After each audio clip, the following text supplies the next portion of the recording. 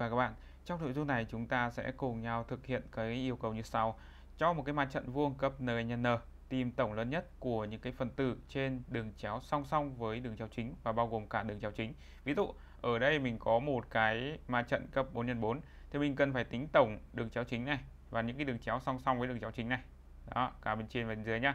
À, sau khi tính tổng như thế thì chúng ta sẽ chọn ra cái tổng có à, giá trị lớn nhất và return đấy là cái mục đích cuối cùng của chúng ta dạ.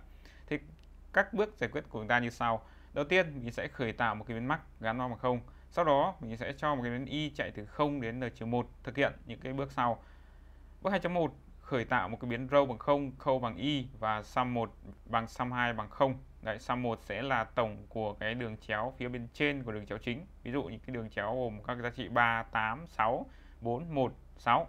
Được chưa? Rồi, cái sum thứ hai này này thì sẽ là để tính tổng những cái đường chéo bên dưới đường chéo chính. Đây ví dụ 296 đây là một đi đường chéo bên dưới đường chéo chính. 37 thì là hai phần tử trên cái đường chéo song song với đường chéo chính nhưng mà ở bên dưới ok. Tiếp theo bước 2.2 thì mình sẽ lặp chừng nào mà cái row nó nhỏ hơn n và câu nhỏ hơn n. Đây là điều kiện đồng thời nhé thực hiện bước 2.1 à, bước 2.2.1 đó là mình tính tổng của cái à, phần tử trên cái đường chéo trên. Sum 1 cộng bằng phần tử tại cái vị trí row khẩu. Sau đó mình thực hiện tính tổng của những cái phần tử ở phía đường chéo song song với à, đường chéo chính nhưng nó ở phía bên dưới đường chéo chính. Sum 2 cộng bằng A khâu row. Được chưa? Sau đó thì đến bước 2.2.2 mình sẽ tiến hành tăng cái hàng và cột của cái row câu hay là nói cách khác tăng cái giá trị row câu lên một đơn vị row cộng cộng câu cộng cộng. Đấy cái bước hai này nó sẽ làm đi làm lại đến khi nào mà kết thúc.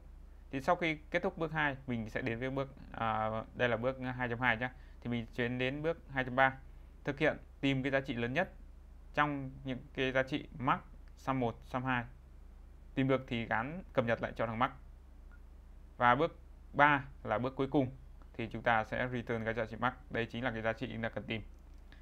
Tại sao lại có cái chỗ mà row câu với lại câu row này như này nhá?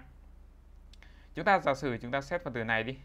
Đấy phần tử này tính hàng bắt đầu từ 0 hàng 0 hàng 1 đấy thì à, nếu như xét phần tử này thì nó hàng cột chỉ số của nó sẽ là 1 0 phần tử này chỉ số của nó sẽ là 0 1 đấy như vậy thì một cái phần tử đối xứng với cái phần tử uh, qua đường chéo chính thì nó sẽ à, đảo thứ tự của row và câu được chưa ví dụ cái phần tử số 3 này này nó có à, chỉ số là 1 à, 01 thì đối xứng với nó chính là cái thằng 10 đấy.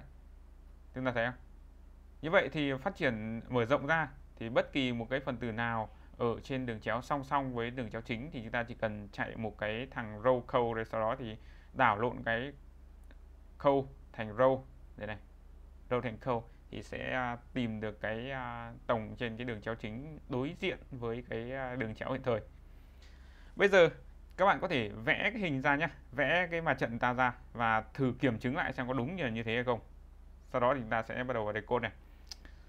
Mình sẽ tập trung vào cái hàm để thực hiện cái việc tính tìm ra cái tổng ở trên cái đường chéo à, lớn nhất và song song với cái à, đường chéo chính, bao gồm cả đường chéo chính. Lúc này mình sẽ có một cái hàm trả về int mình cho là max value max sum đi. Diagonal. Đấy, diagonal. Thì lúc này chúng ta sẽ truyền vào một cái à, ma trận. Ma trận nó là cái màng hai chiều int mình sẽ cho nó matrix. Tối đa n phần tử. Ok rồi, sau đó thì int n thực ra là có n rồi, không cần phải cho n vào đây nữa. Đấy, thì giả sử là cái à, số lượng phần tử của mặt trận mình đang là 4 nhá. Ok, thì lúc này mình sẽ có một cái giá trị max khởi tạo cho nó bằng không. Đây chính là cái bước 1 bước 2 cho y chạy từ 0 đến n 1 rồi, đến bước 2 for y của mình bắt đầu từ 0 y nhỏ hơn n, như vậy chạy đến n 1 và lúc này, cái thằng y cộng cộng. Bên trong này mình sẽ có một cái biến sum 1 cân bằng 0 tiếp theo mình có một cái biến sum 2 cân bằng 0 sau đó thì mình có một cái biến row row thì bắt đầu bằng không. Có một cái biến int col col là viết tắt của column, chỉ số cột nhé row là cái chỉ số của hàng. Chỉ số hàng cột ở trong ma trận, trong mảng nói chung thì nó đều bắt đầu từ không và cái thằng này câu thì sẽ bắt đầu bằng y. Đấy, thì lúc này mình sẽ có một cái vòng lặp. Khi mà row còn nhỏ hơn n và g cũng nhỏ hơn n, thì mình thực hiện vào đây. Đấy, thì mình sẽ cho cái sum 1 cộng bằng phần tử matrix tại vị trí row câu tức là vị trí, chỉ số hàng cột. Và cái sum thứ hai thì lúc này sẽ cộng bằng matrix ở vị trí câu row. Ok, sau đó thì câu cộng cộng và row cũng phải cộng cộng lên. Đó. Như vậy thì chúng ta đã thực hiện xong bước 2.2 này. Bây giờ đến bước 2.3 tìm giá trị max trong cái tập hợp max sum 1 sum 2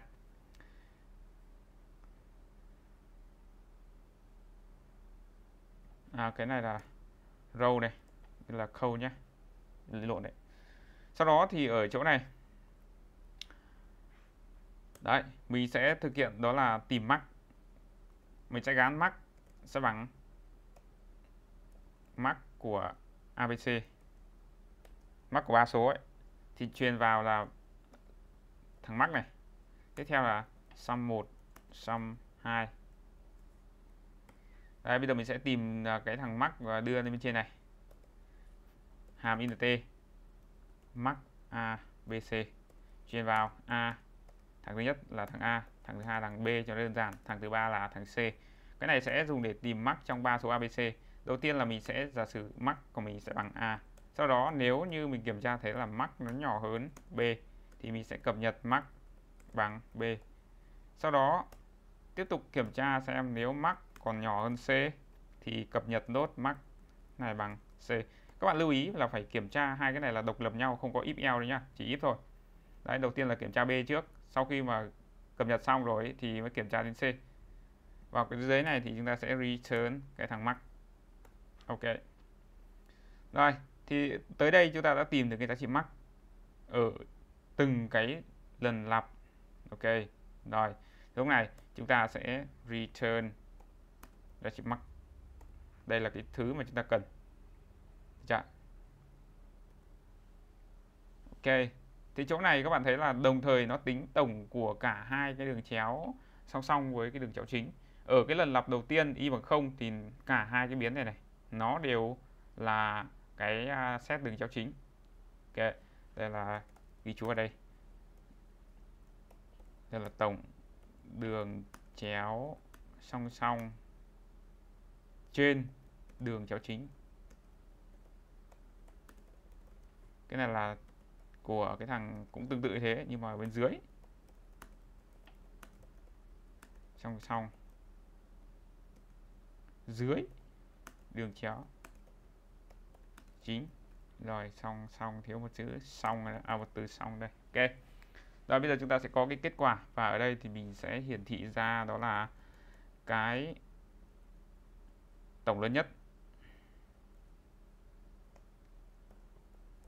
Tổng lớn nhất. Tìm được. Hai chấm. Chính là cái thằng gọi đến cái kia max sum diagonal chỉ vào đây đó là matrix. Và số lượng phần tử chính là thằng n. Do là cái n mình đã define bên trên rồi cho nên là mình sẽ không cần phải truyền vào nữa. Cái này là align để uh, kết thúc cái, uh, cái, cái, cái chương trình cái dòng của chúng ta. Ok bây giờ thì chúng ta sẽ thử chạy để xem là cái kết quả của chúng ta như thế nào. Tổng lớn nhất tìm được là 17 thì chúng ta xét này. Cái đường chéo chính này nó có tổng là 10 đường chéo này thì sẽ là 6 cộng 3 cộng 8 là 9 cộng 8 là 17 cái đường chéo bên dưới này thì là cũng 9 cộng 8 bằng 17 bây giờ mình sẽ thay cái số 6 này thành số 9 thì chỗ này nó sẽ có tổng là 8 cộng 9 là 17 cộng với 3 là 20 Giờ xem có đúng là bằng 20 không nhé? Đây 20 luôn. Bây giờ mình sẽ đổi cái số 3 này thành số 9 đi đây cái này cũng thành số 9 đi. Thì chúng ta thấy là trên đường chéo này có 3 số 9 thì mắc trên đường chéo phải là 27 đây cái kết quả ta chính xác. Bây giờ mình sẽ sửa cái chỗ này cái đường à, chéo à, cùng cuối cùng này. Đấy chỉ nó có mỗi phần tử thôi mình cho nó thành 99 thì cái uh, giá trị mắc người ta tìm được phải là 99 đây chính xác bây giờ bây giờ mà là cái à, thử cái này là 699 cái kết quả ta nhận được phải là 699 tại vì đây là một cái à, phần tử trên cái đường chéo, song song với đường chéo chính. Và cái đường chéo này chỉ có một phần tử. Và nó cũng là mắc 699 ok, đấy các bạn thấy là ở đây mình có à, thể thay đổi giá trị của các phần tử trên đây. Nhưng sau khi thay đổi thì nếu thuật toán đúng, nó sẽ trả về cho chúng ta cái giá trị đúng như là những cái gì chúng ta tìm được bằng tay nhưng mà nó làm hơn là, là máy làm chúng ta nên là nó làm nhanh hơn rất là nhiều Ok, như vậy thì chúng ta đã cùng nhau thực hiện xong một cái bài toán khá là hóc búa và khó cắn. Nó là một cái bài là tìm cái tổng lớn nhất trên những cái đường chéo song song và bao gồm cả đường chéo chính. Nội dung của video đến đây là kết thúc. Các bạn xuống cái phần uh, mô tả của video ấy để lấy cái phần cột mẫu nhé.